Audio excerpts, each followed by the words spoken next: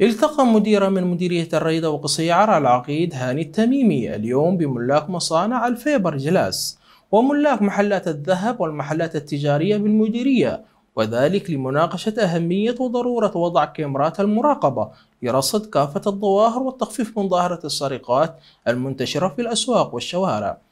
وأكد العقيد التميمي على التعاون بين المجتمع والأمن للقضاء على الظواهر المقلقة للسكينة العامة. مشددا بضرورة وضع كاميرات مراقبة بالمحلات والممتلكات وفي حالة المخالفة سوف يتم اتخاذ الإجراءات القانونية. وفي ختام اللقاء تقدم العقيد التميمي بالشكر لكل الحاضرين لاهتمامهم وحرصهم على استقرار الأمن والأمان بالمديرية.